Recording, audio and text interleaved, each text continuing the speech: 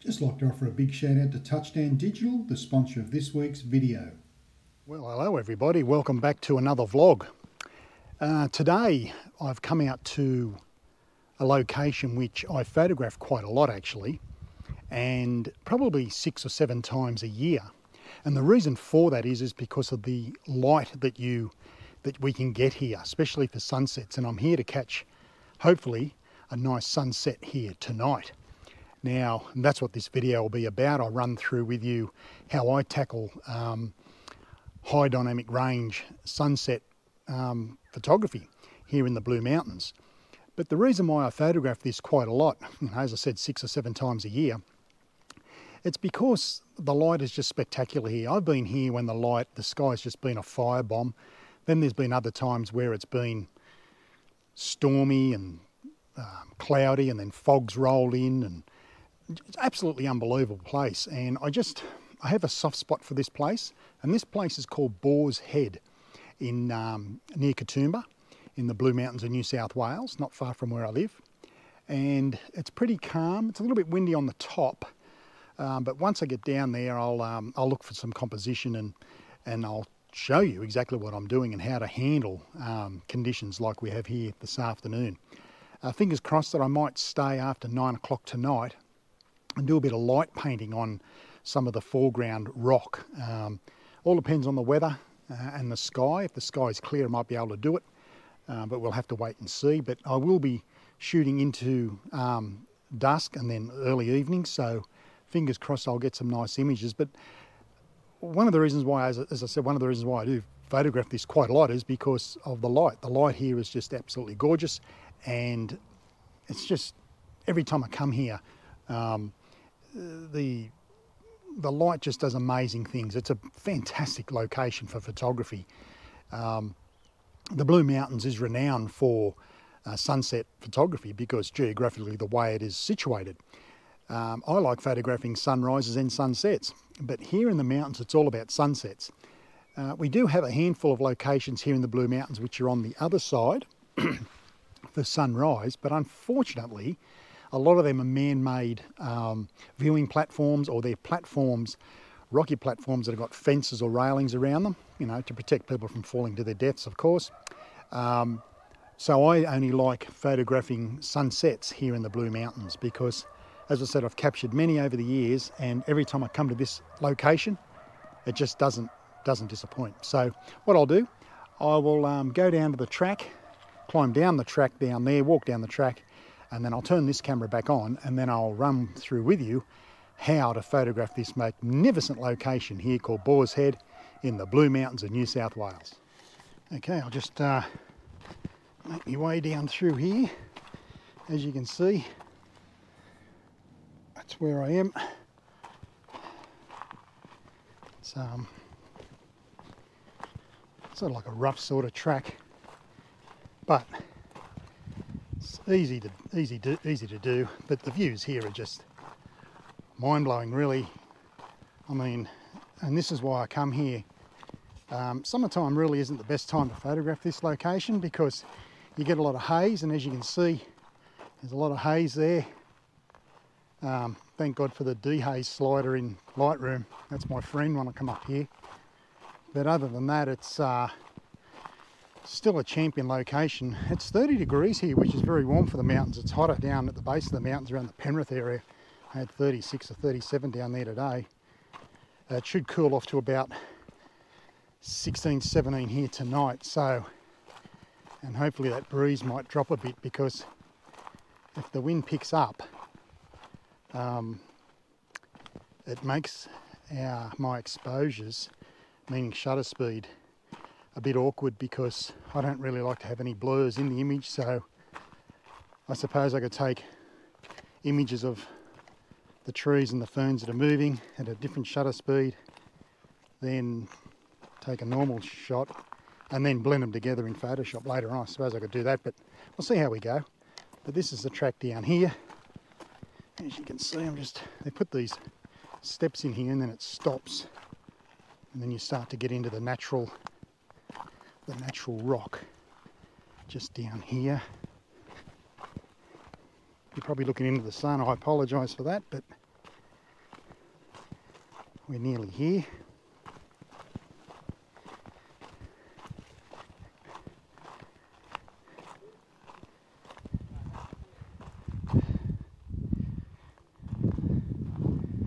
I've got to go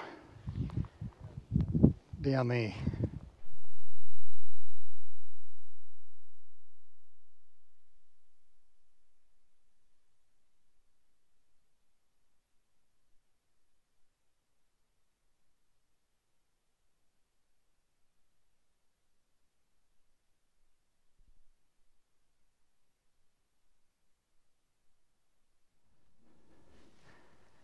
Okay, as you can see, this is where I'll be shooting here tonight. Hopefully the sun's going to set to my right of me here. Um, 16 to 35 and 24 to 105 there, the lens that I've brought. So I think uh, we'll capture this very nicely.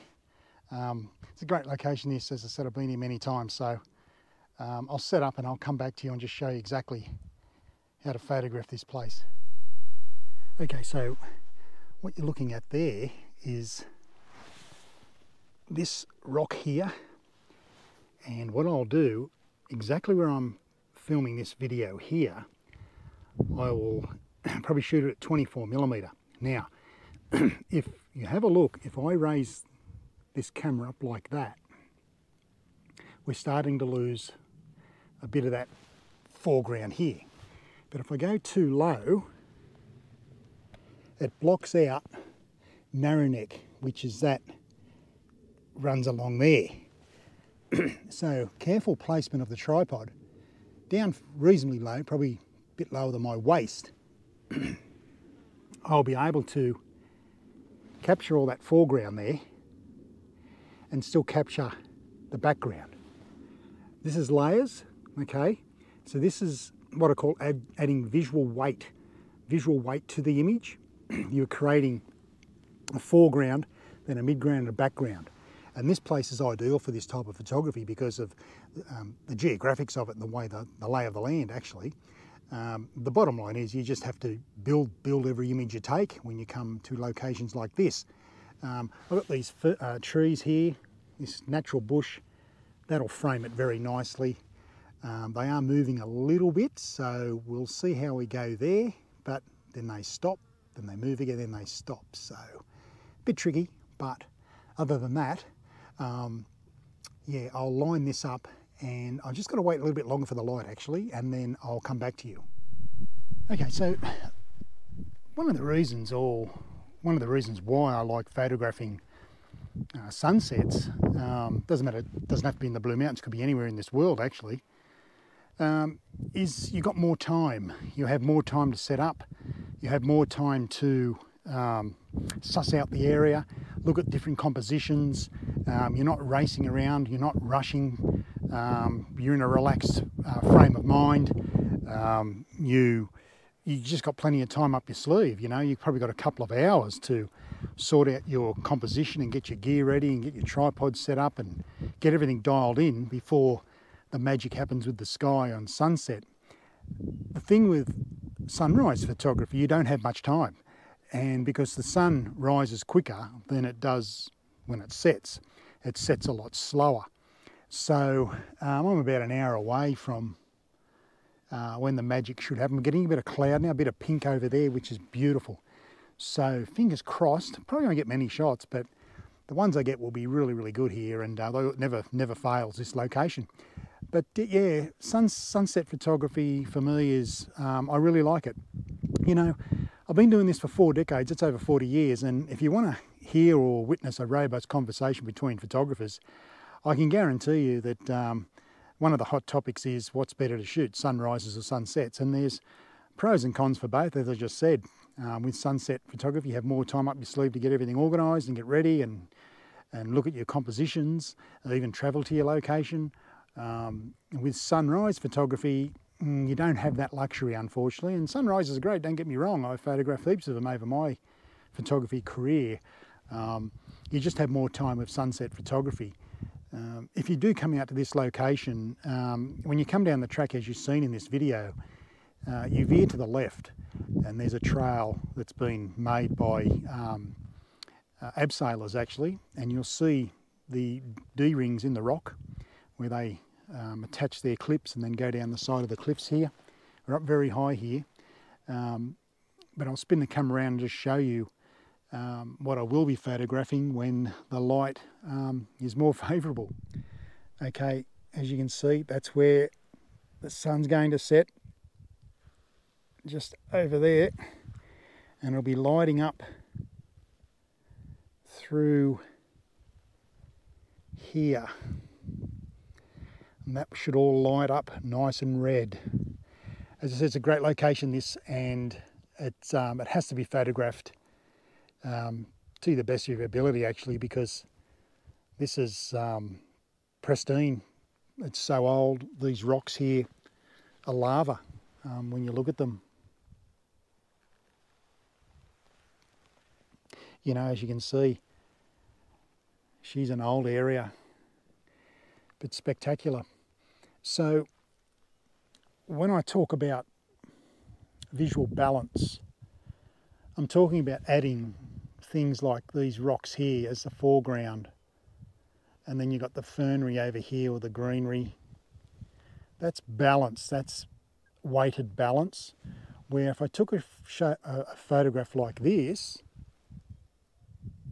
there's just too much sky for a start. You got narrow neck there, but that's it. There's nothing to really draw the viewer's eye into the picture. And this is why I believe you must include the foreground element because that uh, in itself will draw the viewer's eye into the image and go all the way through.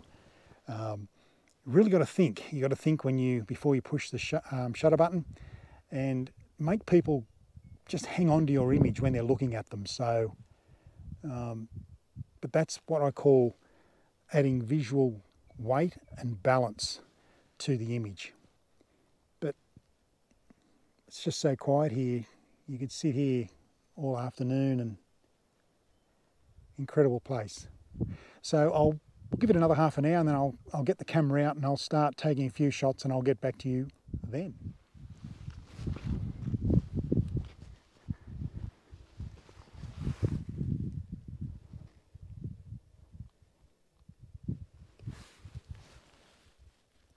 Okay, what I'm doing here is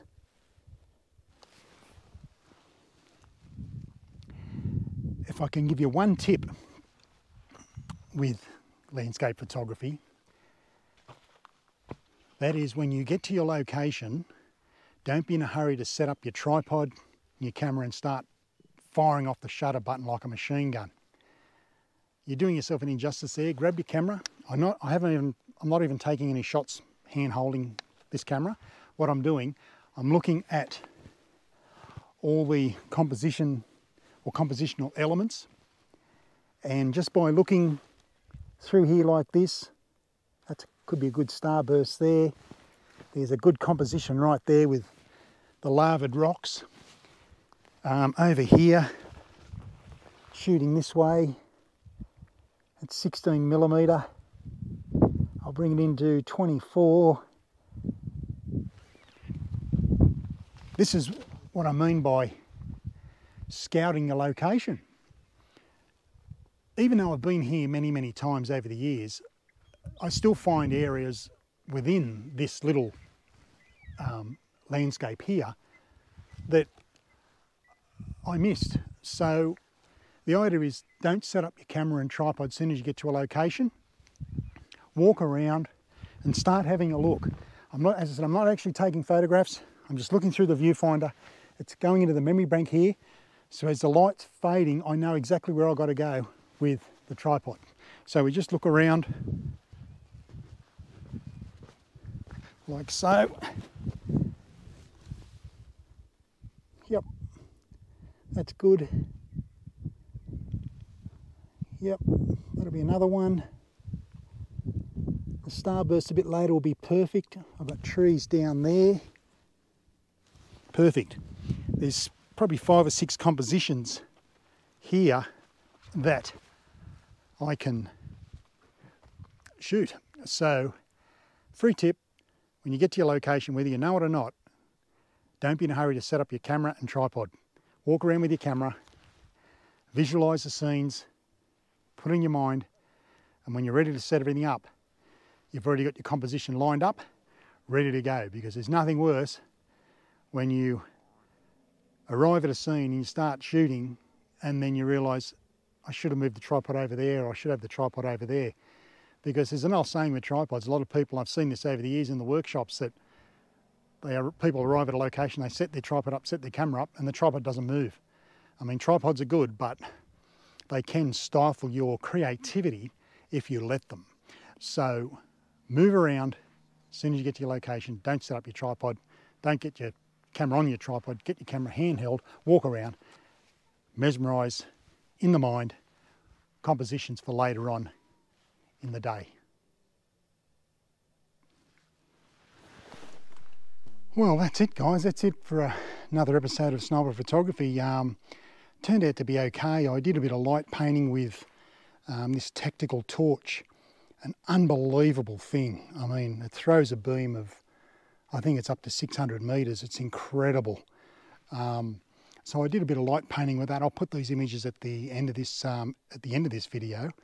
But basically, it was once again the high dynamic range here was uh, pretty uh, pretty tough. So I had to bracket the exposures, which um, uh, should work out okay. I think uh, it wasn't too bad. It's now currently 8.30 and it is dark here now. Um, there's a few mosquitoes around and a few bugs and things, so I'll get back to the car. But other than that, it was uh, it was pretty good. I mean, you know, as I said at the beginning of this video, with sunrise and sunset, sunset uh, photography, you have a bit more time up your sleeve.